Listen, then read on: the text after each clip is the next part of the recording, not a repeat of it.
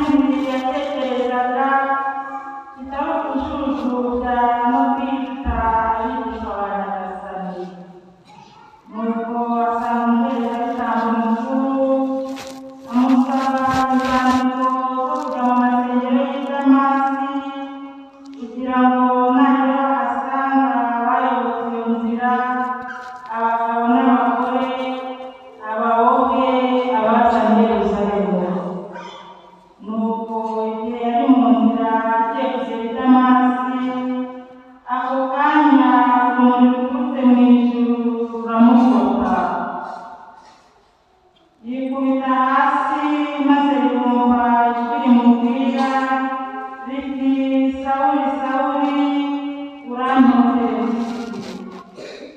Raúl y Arabasa, Asturias.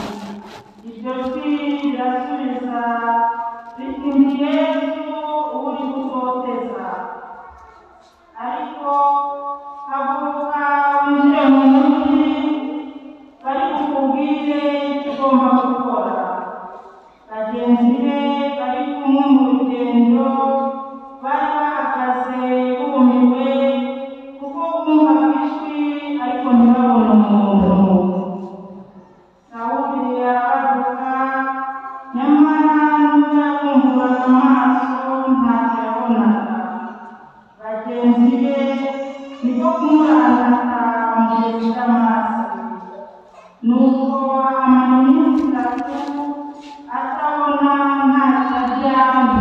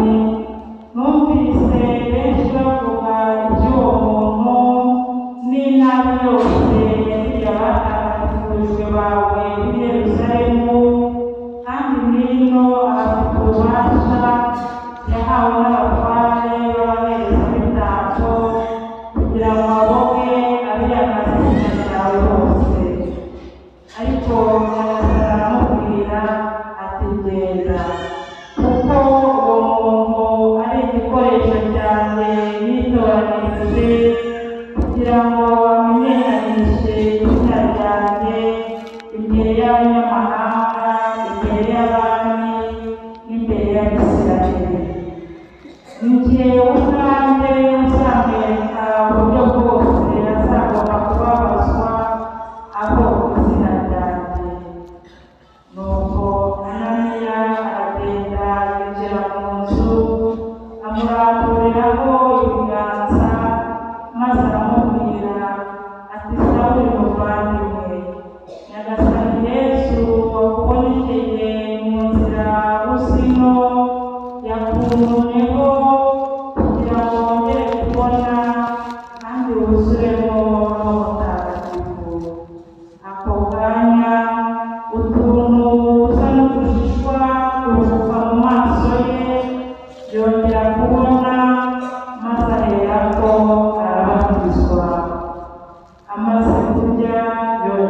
Amém.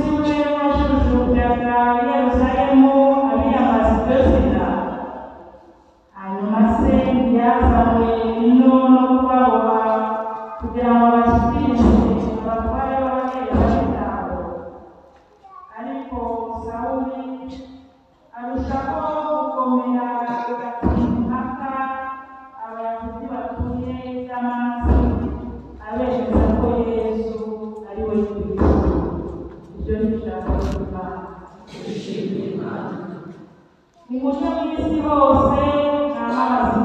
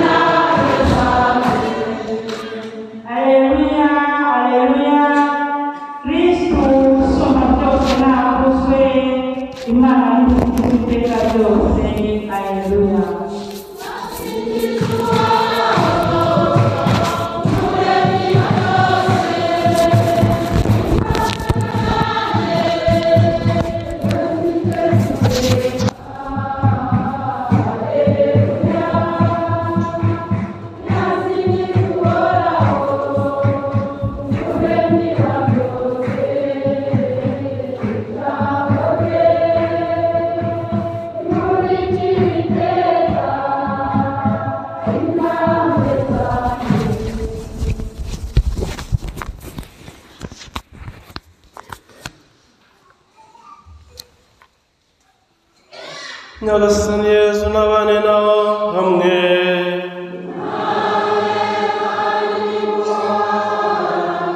Amagambo yo mu ivanjiri ntagatifu ko yanditswe na mariko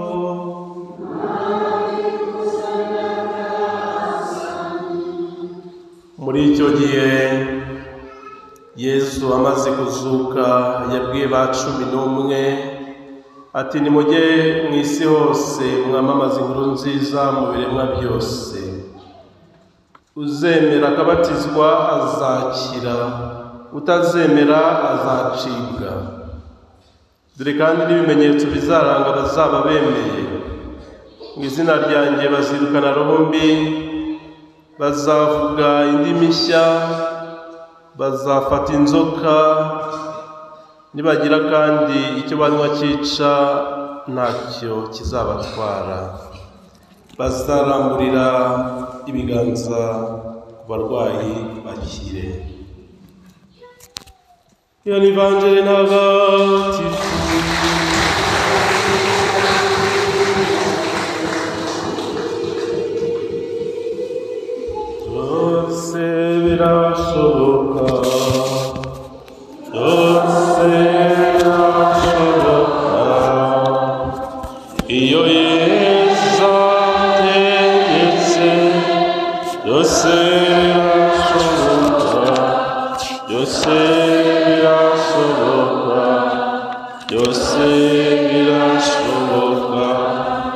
byose byose birashoboka byose birashoboka iyo yesu ategetse byose birashoboka byose birashoboka byose birashoboka kristo akuzwe bavandimwe uyu munsi ku itariki makumyabiri n'eshanu mutarama kiliziya umubyeyi wacu. Iduhaye amahirwe yo guhimbaza ihinduka rya pawuri intumwa uwo twumvise mu byanditswe bitagatifu witwaga sawuli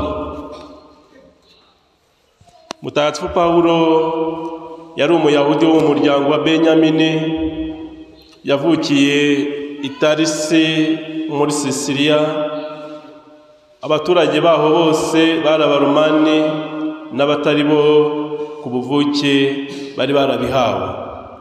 Bene wabo abayahudi bari baramuhesheje inyigisho zikomeye z'icyo gihe. Nuko abarirwa akiri muto mu bafarizayi baho bashimwaga. Pawulo atarahinduka ngo agarukire kirisi witwaga sawuli nk'uko twabyumvise. Yari atsimbaraye cyane ku muco mukuru wa kiyahudi bituma yanga inyigisho zose zaganishaga ku bukristu. Batangiye no kujujubya no kwica abakristu arishima arahaguruka atera aho babakekaga hose. Bamaze kumenesha abakristu b'i Yeruzalemu asaba inzandiko zo kujya gufata ab'i Damasi. Nuko igihe yari mu nzira agiye kugera i Damasi. Ako kanya urumuri ruturutse mu ijuru ruramugota yitura hasi maze yumva ijwi rimubwira riti sawuri sawuri urankotereza iki? Sawuri arabaza turinde nyagasani? Iryo jwi rirasubiza riti ndi yezu uwo uriho utoteza ariko haguruka winjire mu mujyi byaguruka winjire mu mujyi bari bakubwiye icyo ugomba gukora. Bagenzi be bari kumwe mu rugendo bari bahagaze bumiwe kuko bumvaga ijwi ariko ntibabone umuntu. Sawuri arabaduka nyamara nubwo yabumburaga amaso ntacyo yabonaga. Bagenzi be niko kumurandata bamugeza i damasi nuko ahamara iminsi itatu atabona ntacyo arya nta n'icyo anywa. Sawuri amarana iminsi mike n'abigishwa b'i damasi maze atangira adatinze kwamamaza mu masengero ko yezu ari umwana w'imana. Bati mbese uyu si we wajujubyaga i yeruzalemu abiyambazaga iryo zina?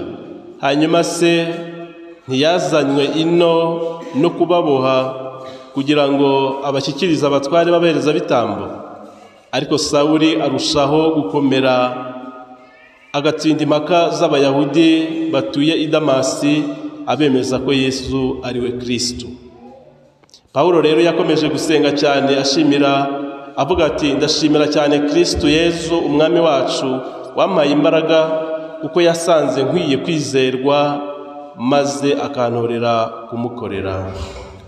Kirisitu yesu akuzwe ngayo rero amateka mu ncamake ya paul mutagatifu bihimbaza uyu munsi ihinduka rye paul mutagatifu tugashimira yezu kirisitu nk'uko twatangiye tubivuga byose birashoboka iyo yezu ageze gute ategetse. Hari igihe akureka ugakora ibyo ushaka ukivuruguta ukagira gute ariko iyo isaha y'imana igeze byose birashoboka. Birashoboka ko nawe hari byinshi wagiyemo wahunze imana wagezeho nawe urahakana uba nka sawuri ariko aka kanya nyamara yezu yaguhindura yarangiza akagukoresha iby'intwari. Mu buzima bwacu bwa buri munsi abantu batuye ku isi twabashyira mu byiciro bibiri. Icyiciro cya mbere ni icy'abantu ngira ngo mwemera ko twese turi abanyabyaha si byo? Twese turi bo hano hari intungane. Intungane muzamure turebe.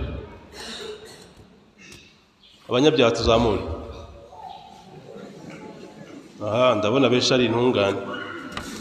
Ariko turi mu byiciro bibiri. Icyiciro cya mbere ni icya ba bandi bakora ibyaha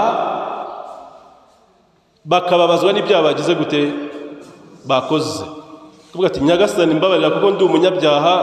Naguye mu ibyaha mbyivurugutamo ariko ntabwo numva nabigumamo mbabarira. Kubera ko dusanga umuntu ajya gusaba isakamento ry'iki? Ry'imbabazi. Ariko hari n'abandi bagwa mu ibyo byaha bakabyivurugutamo bikabaryohera bakumva nta n'umutima wo kubisohokamo kristo yezu akuzwe. Abangaba rero hari abahanga babagereranyije. Abambere babagereranya nk'intama abandi babagereranya nk'ingurube. Intama murayibona iyo yagiye mu mu bintu byanduye ikajya mu kiziba. Irivuruguta ikivuruguta ariko yageraho ikabona ubutama bwayo butayemera kuba mu cyondo no mu gisogororo. Yego? Nuko ikavuga ati reka mvemo ikagenda ikiyuhagira ikongera ikamererwa neza. Ariko ingurube yagiye mu cyondo ikivuruguta yumva ari bwimerewe neza. Yego?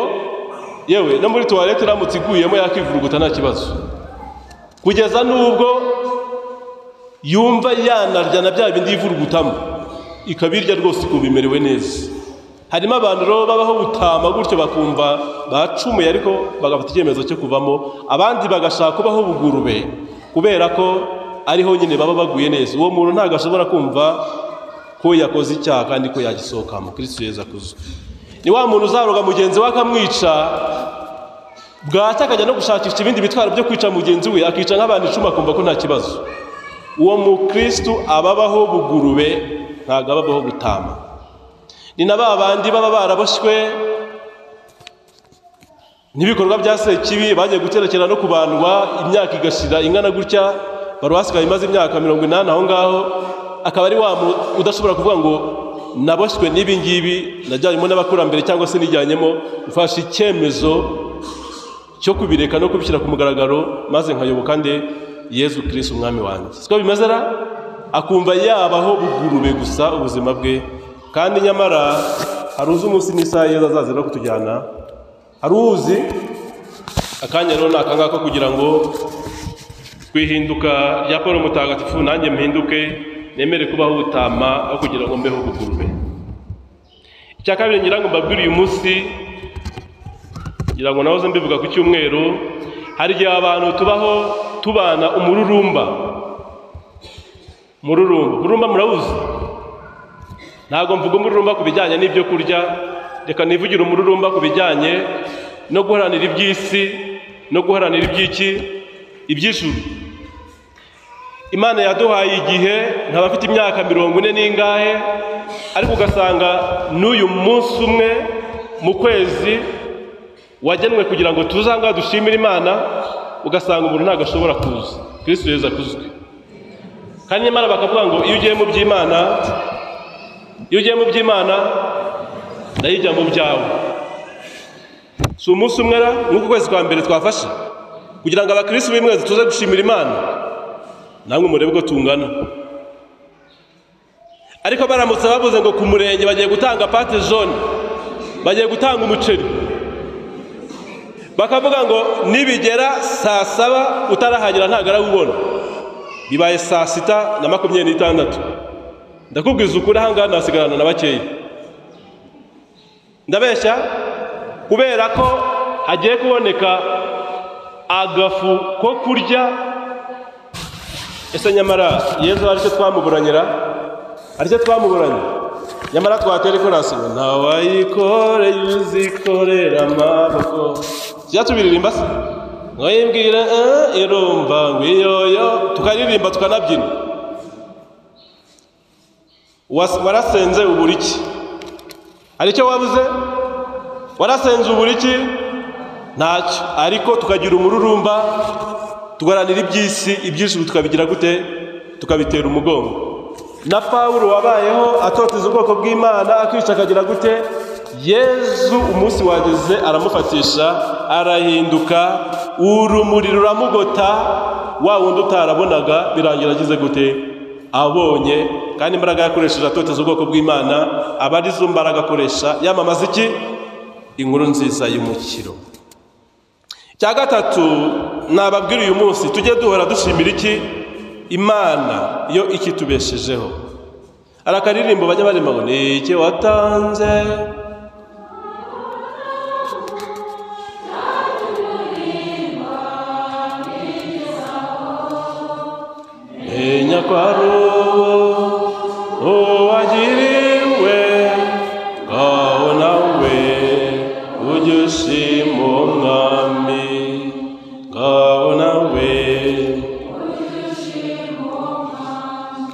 Abagore beza barapfuye wowe ugira gute?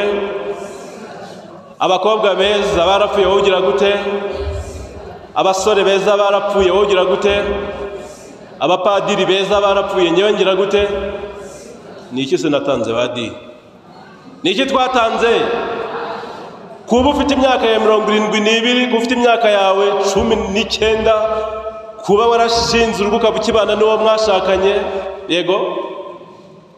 Kuba ukiri aho ngaho n'ibihe bikomeye twanyuzemo bya kovide nta bantu benshi bapfuye aka ni akanya ko gushimira imana badi yezu wamfashe ukuboko yezu warandinze ndongeye nzanye ukuboko yezu kugira ngo wongere ugire gute? Ufate ikiganza umuryango wanjye uwufate ukuboko maze byose tubishyire mu bwishingizi bwawe. Haleluya ninde se wari uzi neza ko azasoza uriya mwaka ushize? Ninde wari ubizi? Ninde wari uzi ko azatangira uyu mwaka amahoro? Murabe maso rero. Murabe maso. Uyu mwaka watangiye utuje ntabwo tuzi ibyo uhatse. Ariko turabe maso. Kandi twigire ku mateka yahise cyane cyane dukomere ku rukundo rw'imana n'urwa bagenzi bacu. Sawuri sawuri uranote uranotereza iki? Ba sawuri nyamara baturimo cyangwa se tubarimo?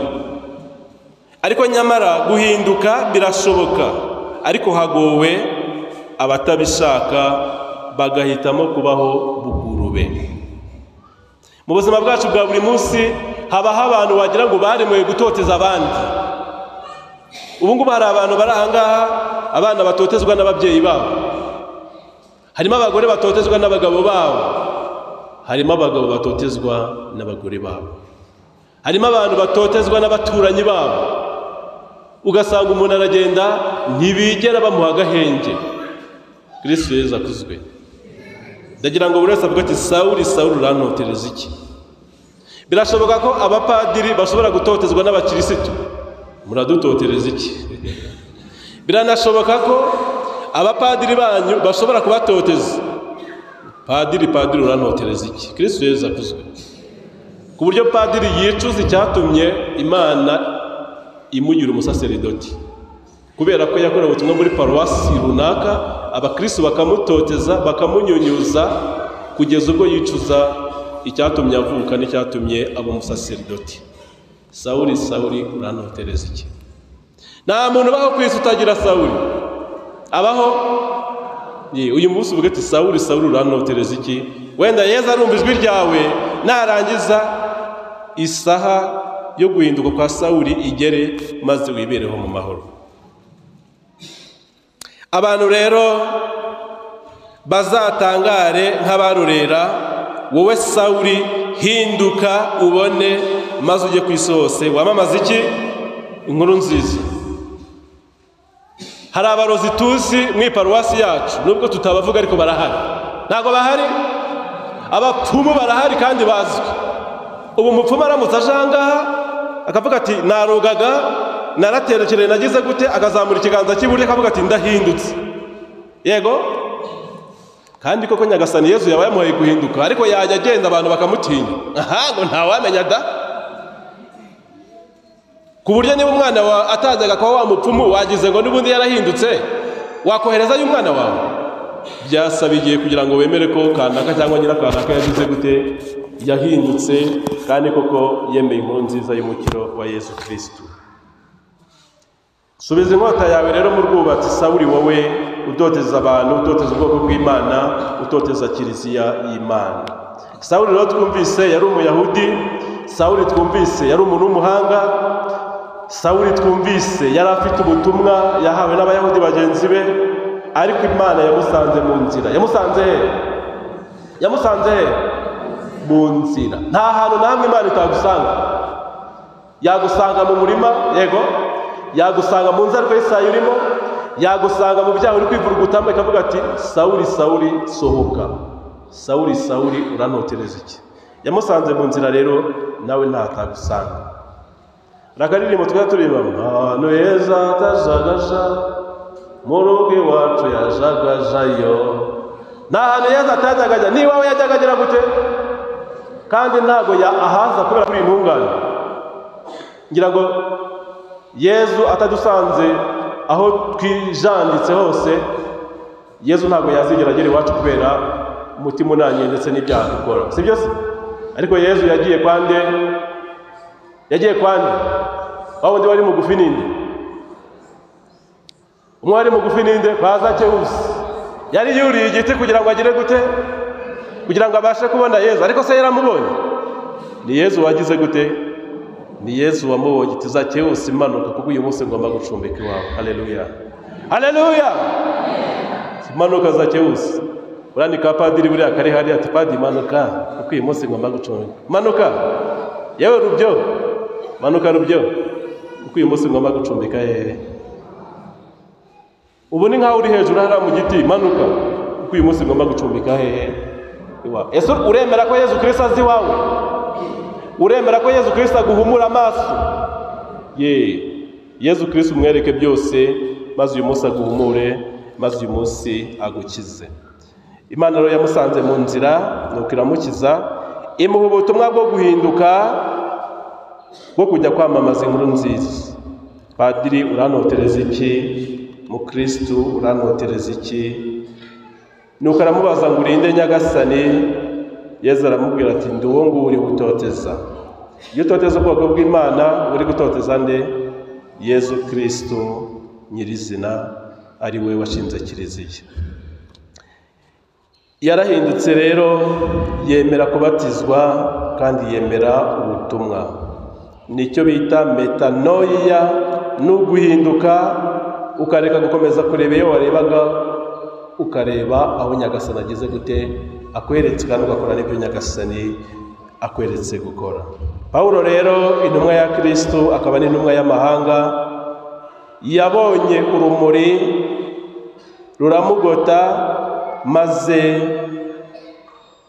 ahita abona agashishwa kari ku maso ye kavaho nuko arabona kandi arahumuka. Icyazanaga urumuri rwamugose nanjye uyu munsi rugire gute? Rungote maze agashishwa kari ku jisho ryanjye kabashe kuvaho maze mbashe kugira gute? Mbashe kubona mbashe kubona ko mugenzi wanjye ari umwana w'imana. Mbashe kubona ko mugenzi wanjye akeneye urukundo rw'imana. Mbashe kubona ko mugenzi wanjye agomba gufashwa kugira ngo abeho neza nk'uko nanjye ndiho. Ikindi tuzirikana rero ni uko sawuri watinyutse agatoteza akanica ubwoko bw'imana nk'uko yabonye urumuri nanjye uyu munsi dukeneye kugira ngo mbashe kubaho mu bwisanzure bw'abana b'imana. Maze mbashe kubera yezu kirisita aho atari mbashe kumukorera kandi mbashe kumugeza no ku bandi. Uyu munsi rero mwebwe mwaje muri uku kwezi kwa mbere gushimira imana ibyiza yatugiriye tubashe kumwereka n'abacu impande n'impande aho bari kugira ngo nabo bajye bafata akanya bashimira imana kandi bayereke n'ibindi byose. Uyu mwaka rero uzatubera umwaka muhire uzatubera umwaka wo gusenga cyane uzatubera umwaka wo kubohorwa n'ingoyi za se zituboshye.